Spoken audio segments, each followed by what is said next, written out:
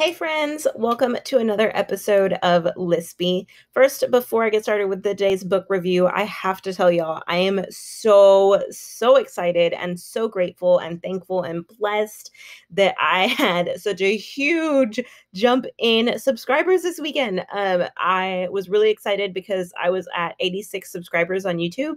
And in order to get your custom YouTube um, link, you have to have 100 subscribers. And so I put out a tweet and I had my friends and my family share. And I was like, hey, y'all, I'm 14 subscribers away from getting my custom YouTube link. And honestly, like that's all I've been work, like all I've been really, really excited for um, over the past couple years. Cause when you hit 100, subscribers, you get your custom YouTube link. Like I said, when you hit 10,000 subscribers, you get a plaque. And so, you know, baby steps. I'm super, super stoked that we got 200 subscribers. Like, what even is this? This is so awesome. So I'm super, super grateful. And thank you all. Shout out to everybody who shared. Shout out to everybody who just subscribed.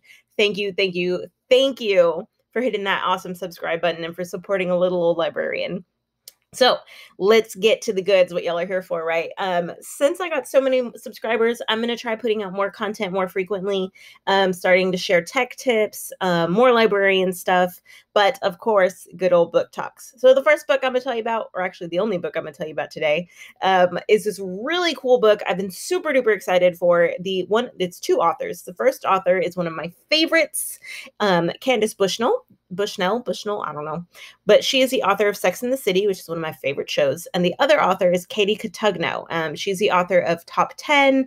And if you've ever seen one of her stories, her novels, they're beautiful. They have really gorgeous covers that have like actual photographs on them.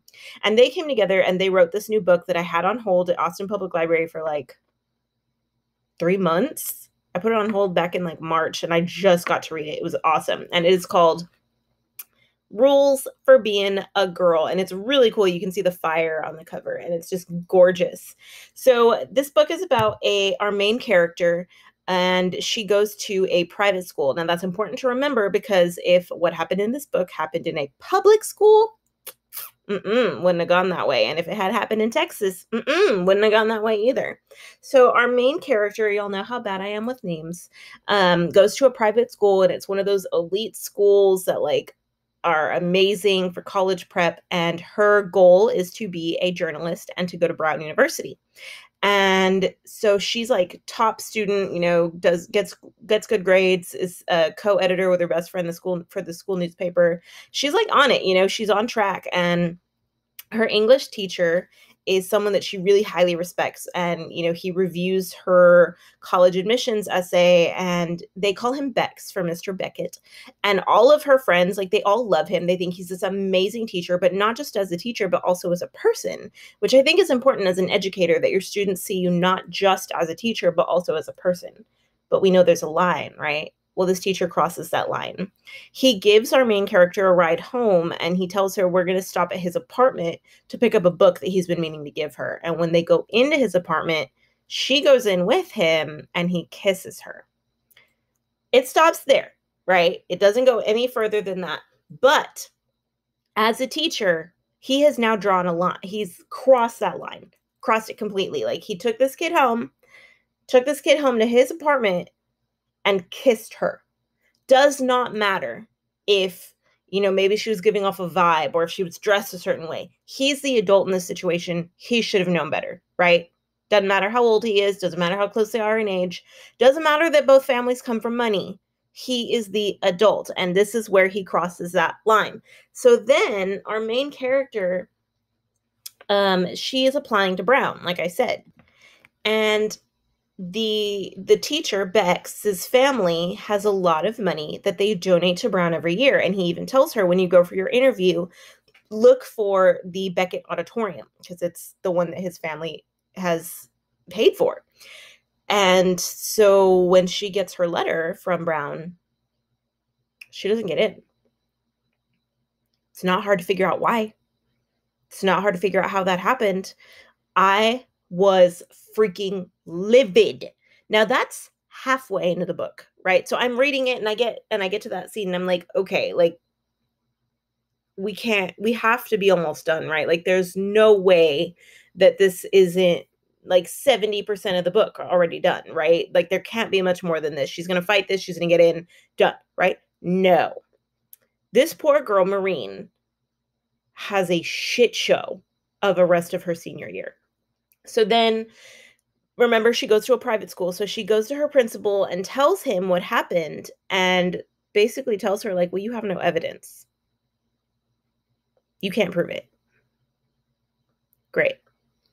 Then her friends shun her because the teacher gets suspended for a day. One school day.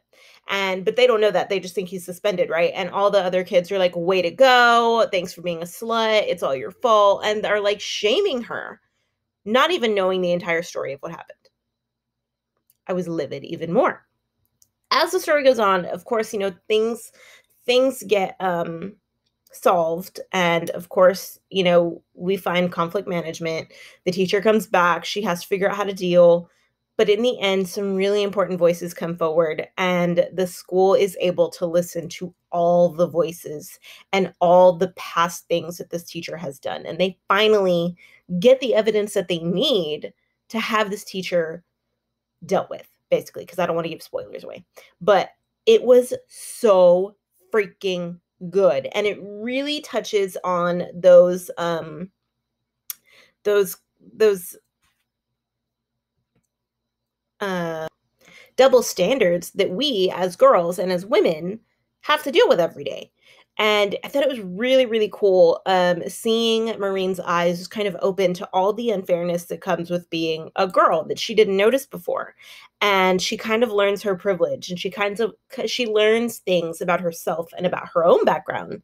Uh, and I thought it was really, really cool because it's not like bam in your face feminism, but it's like slow growth. And I think that's something we all need to appreciate and process is that growth and noticing things is what's important.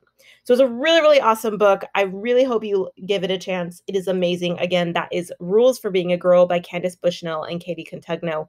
Absolutely fab. I got it from the Austin Public Library and I hope you give it a chance. Happy um, almost end of summer.